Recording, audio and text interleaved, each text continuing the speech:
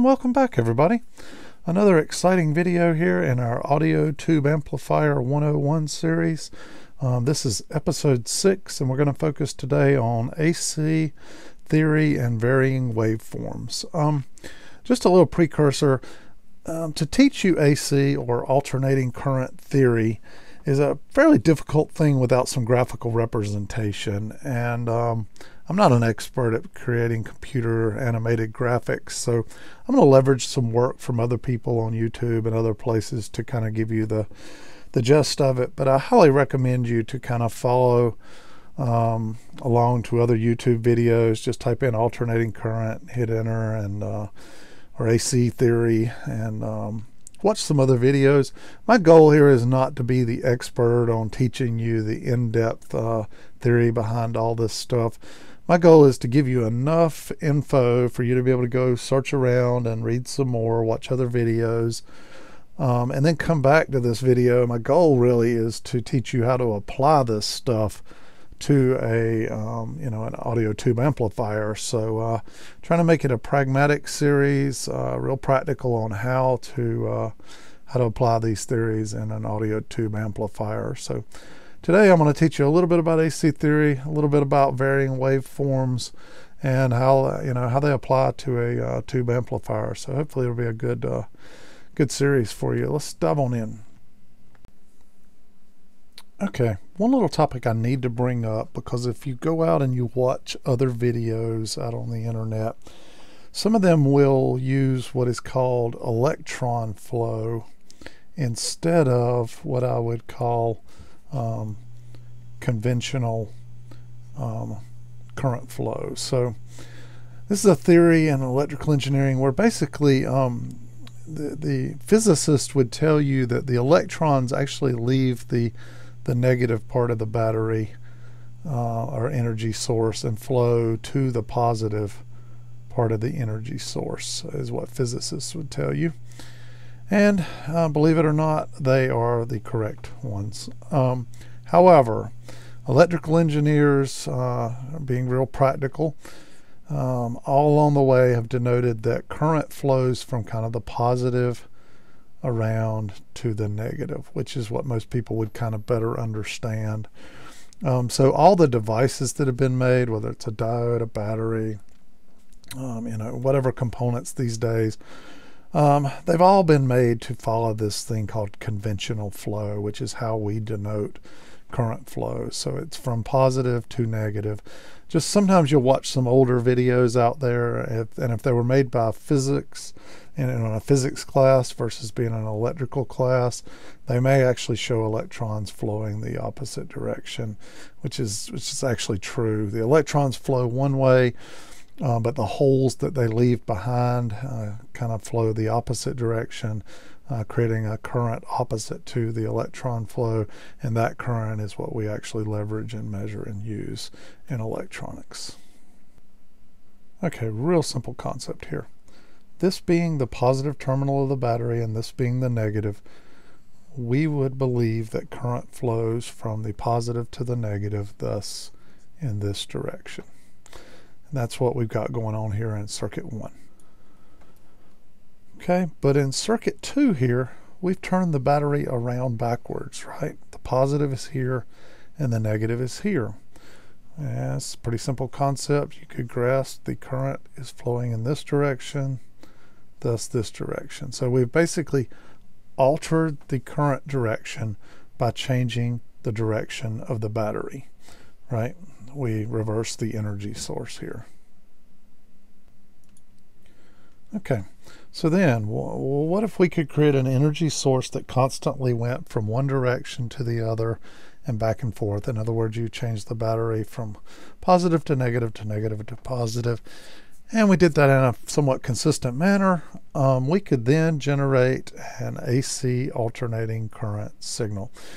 And this is exactly what uh, Nikola Tesla did way back in the day. Okay, in order to show you how one might go about creating an energy source that constantly goes from positive to negative and creates an alternating current, I thought I might leverage this old Army public domain video that they use, and uh, pretty good stuff here. Basic to the understanding of DC motors and generators is the simple generation of an electromotive force, an EMF. Mechanical energy, the moving of a wire or conductor across a magnetic field by hand in this instance, produces electrical energy.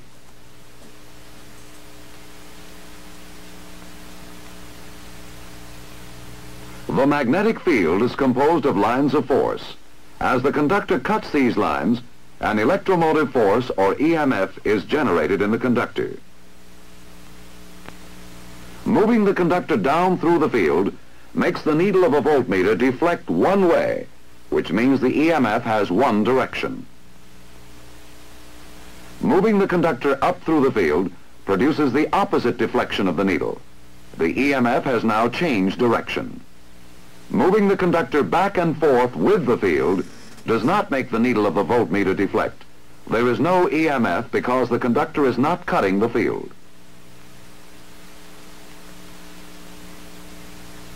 To illustrate the direction of current flow, the conventional symbols will be used.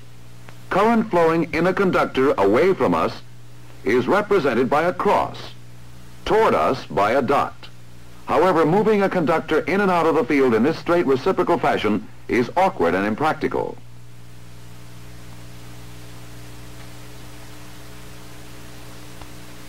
A simple generator of EMF can also be made by rotating a single turn coil within a stationary magnetic field of two magnets with opposite polarity.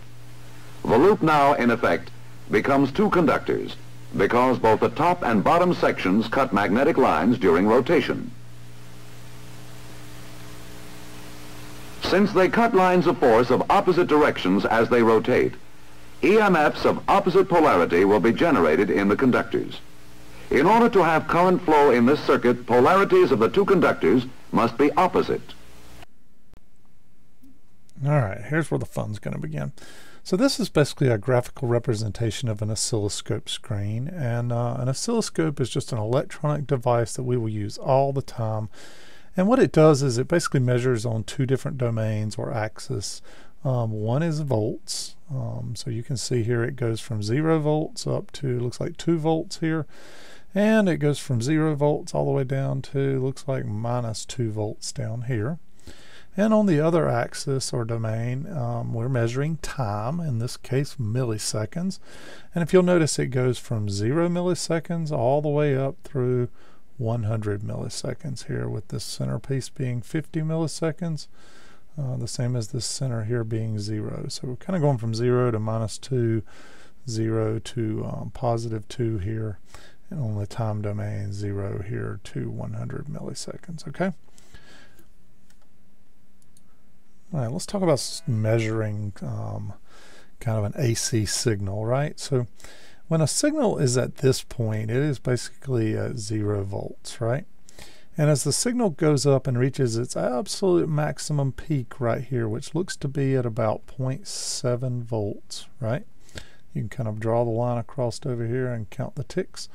Um, that is what is known as the amplitude, as you can see here, from here to here, or also the peak voltage.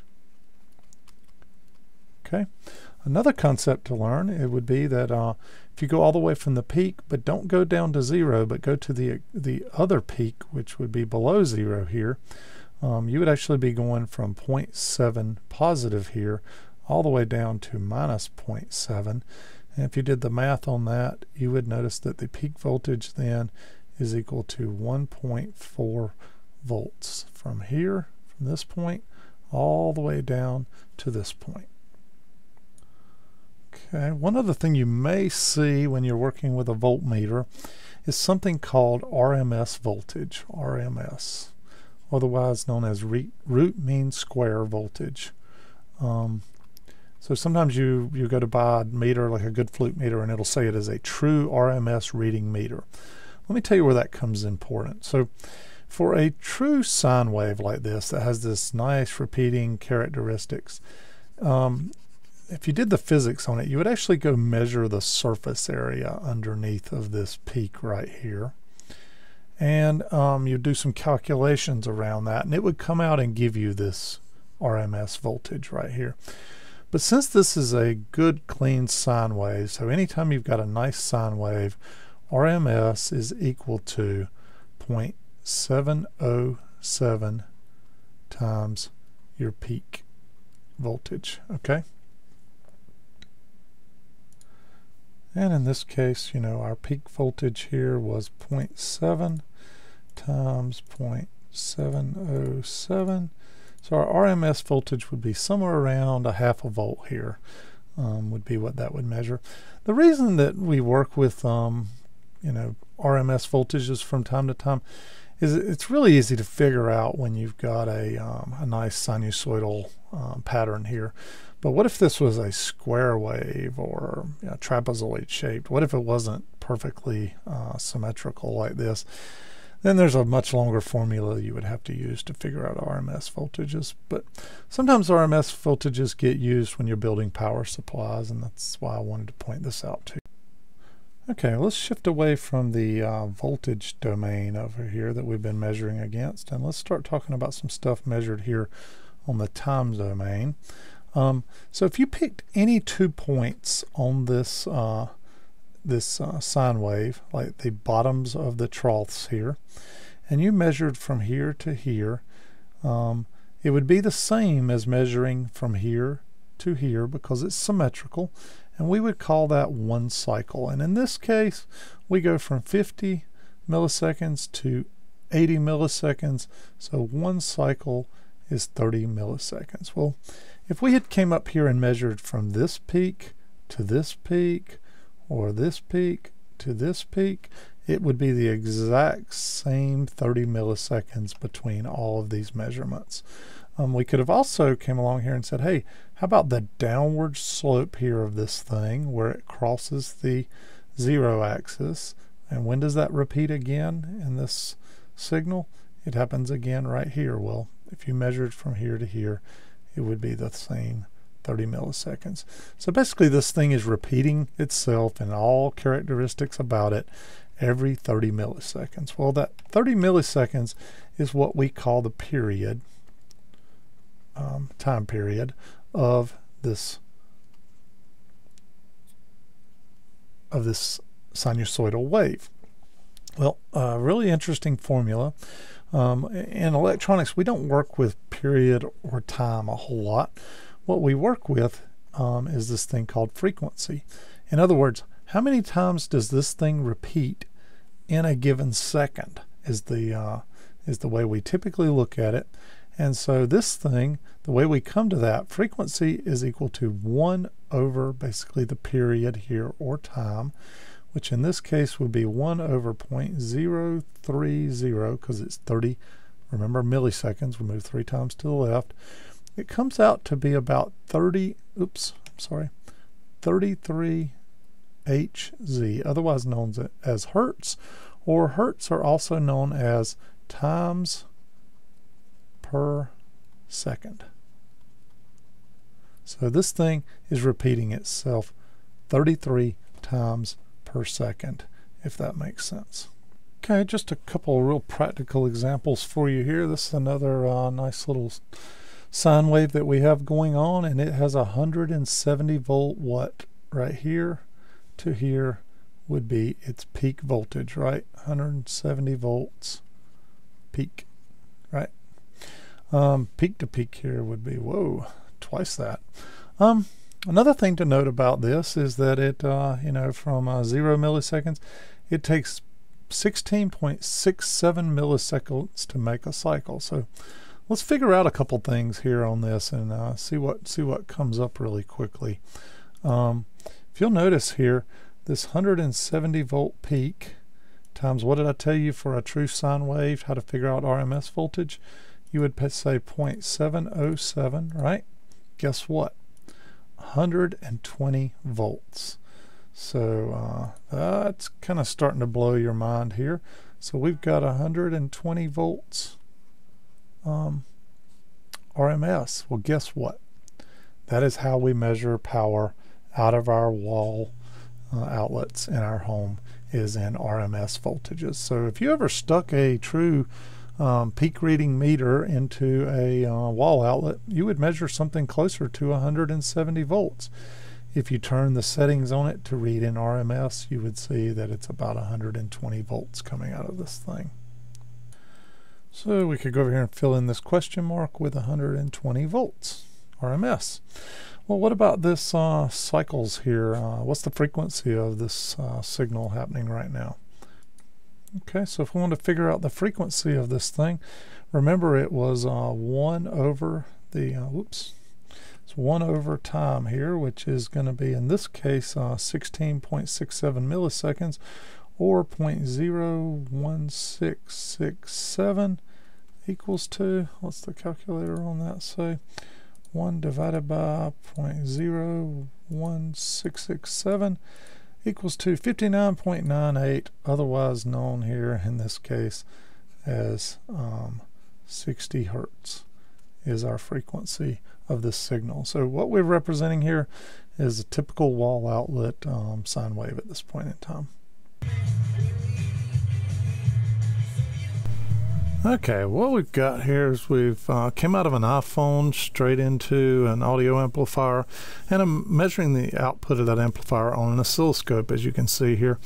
What I wanted you to be aware of is that um, you know your audio signals in a typical song are not sine waves, they're not square waves, they're not these beautifully symmetrical things.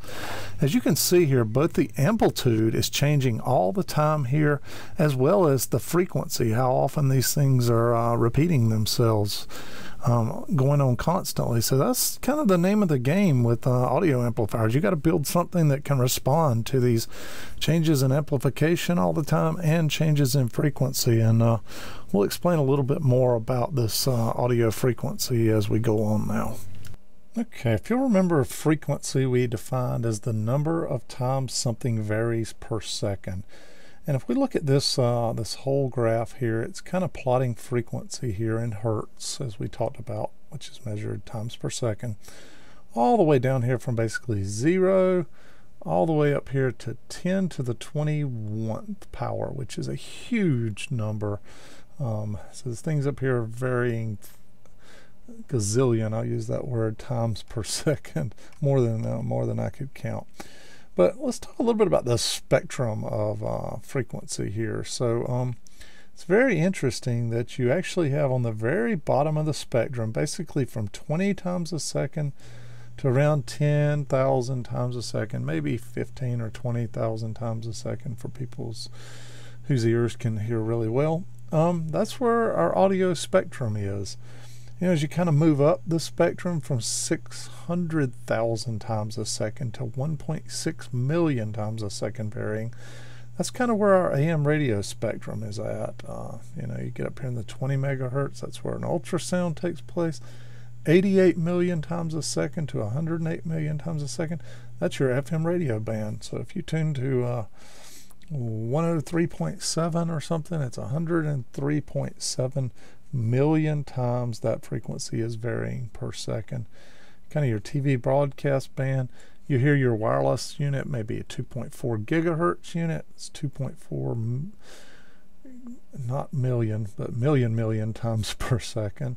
You can see your, oper- your microwave operates down here. By the way, if you'll notice, your microwave and your uh, wireless data operate at the same frequency, which is not always great in your household. You get into radio as you go on up here. You get into imaging uh, remote controls, night vision, you know, getting a sun. This is actually the spectrum of the sun, kind of from here to here. Then you kind of get into X-rays. What's going on when you go get an X-ray or you get your luggage screened at the uh, TSA at the airport, or maybe you go get a CAT scan or a PET scan, something along those lines. You're getting way up here into some super super high frequencies. Um, but for audio amplifiers and what we're all about, we're way down here on this very end of the spectrum. So I want to give you that point of reference. All right, what we've got here is a blow up of that audio spectrum we were looking at just a minute ago in the very bottom left hand corner of the previous picture. And if you'll notice here, it kind of goes from around 20 times a second up to about 20,000 times a second. That's kind of what is considered the audio spectrum. Anything below 20 times a second, you really can't hear, you just feel it. It's almost like a vibration or uh, somebody shaking you or something. Uh, you know, and the spectrum here kind of goes all the way down to zero hertz or no times a second. Um, so what we're kind of concerned with in the audio spectrum, you know, is this this range right here, and that range then is broken down into some sections. So um, right here, kind of your bass frequency, you know, your drums, your bass guitar, all that happens from about 20 hertz to uh, you know maybe 150 hertz or so. If you'll notice, everything below that is called subsonic. In other words, below what you can hear. And the word sonic kind of represents uh, what you can hear. And you kind of get up here into your upper bass. Um, you know, this this area right here, from here to here, is kind of what your mid-range speaker would produce. This is kind of what your woofer would produce. This this area in here is where your vocals play out, or your guitar strings uh, play out. Um, so it's a very important section of the frequency spectrum. And then you get up into this section and you really get into where your tweeter is and your speaker is what it's producing. Um, you know, maybe something produced by a cymbal or, um, you know, maybe a flute or something extremely high end. A dog whistle would be way up here into this end of the spectrum, if that makes sense. And, um, you know, some people's hearing stops off around 10 kilohertz. In other words, they just don't hear things higher than that. Some people's may go all the way up here to 20,000 hertz, you know, 20 kilohertz. A lot of it has to do with age. The older you get, the uh, you know, kind of the more your hearing uh, um, deteriorates, and you're unable to hear frequencies as high as you could when you were younger.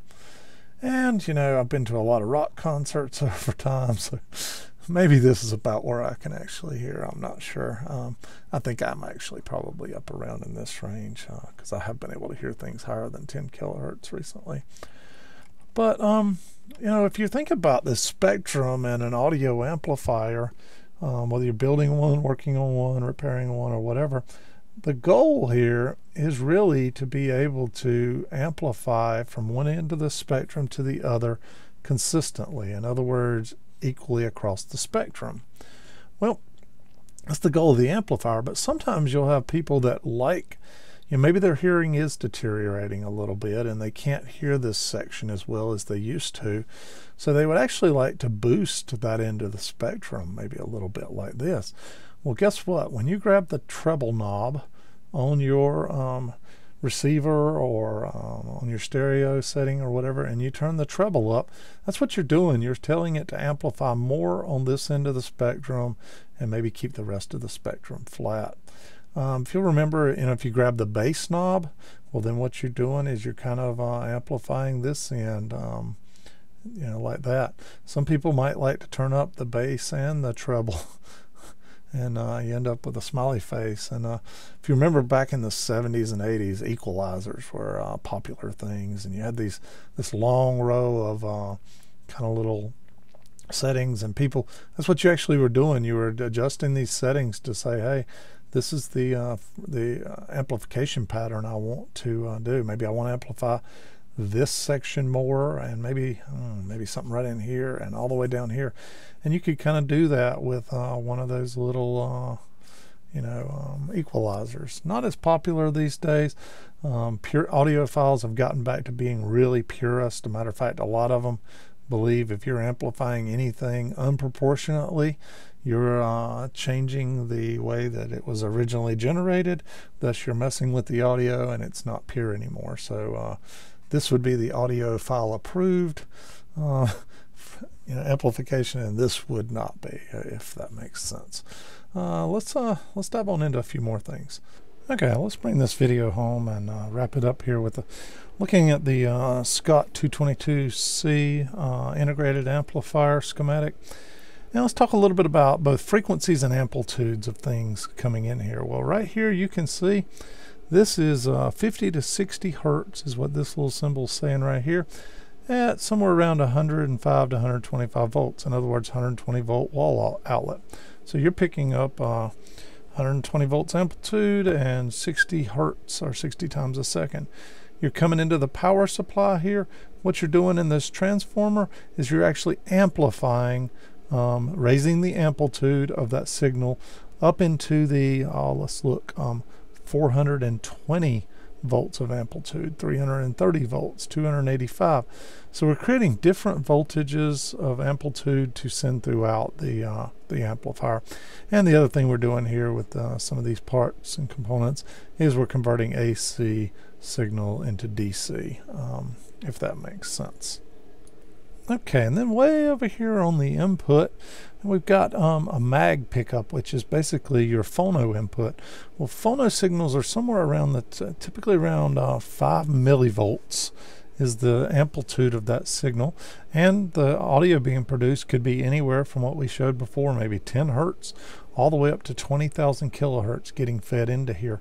So this stage of the uh, the unit is um, is the phono section, and it has to be able to amplify 5 millivolts up to around um, 0.5 volts, or in other words, 500 millivolts. So this section here has to be able to do amplification somewhere around 100 times. Um, but it doesn't change the frequency, it's just changing the amplitude. And what it's doing here, um, this thing's got to be very you know, be able to cover that full range, uh, 10 hertz all the way up to 20 kilohertz, if it's going to accurately represent what's being put into here into the next section of the amplifier. Well, if you didn't feed in via the phono and you came over here and fed in via the tuner or the tape input or the aux input, any of these other inputs, basically what you're doing is you're bypassing this entire first section and you're just feeding straight over here kind of not using this part to the left at all. So by the time you get here, well, guess what? You're at 500 millivolts or so, um, which would be kind of line level input. So um, the signal coming in here is already uh, 100 times stronger than what it would be if it was right here. Thus, you didn't need this amplification stage.